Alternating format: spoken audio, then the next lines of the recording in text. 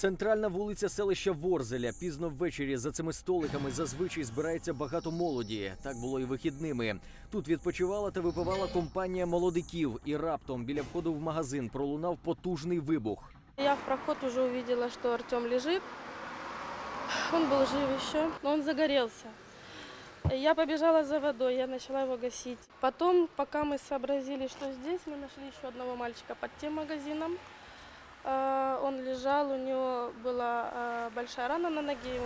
Очевидці розповідають, спершу хлопці ніби гралися, просто передавали з рук у руки невідомий предмет, а потім він раптом здетонував. Лише згодом стало зрозуміло, небезпечна іграшка виявилася бойовою гранатою. вже п'яненькі були.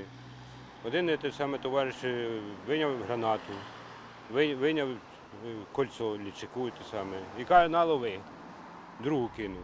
Двоє постраждалих солдати Нацгвардії. Зараз вони в лікарні в обох численні осколкові поранення ніг та грудей. Они э, решили сыграть в русскую рулетку. Сняли чеку и друг другу передавали. Вот Артем был последний, кто ее взял. Загиблому Артему було всього 23 роки. Він теж був військовослужбовцем. Хлопець уже рік проходив службу за контрактом у бригаді швидкого реагування Нацгвардії. І за страшним збігом обставин граната вибухнула саме у нього в руках. Він виховувався в дитячому будинку в Малині.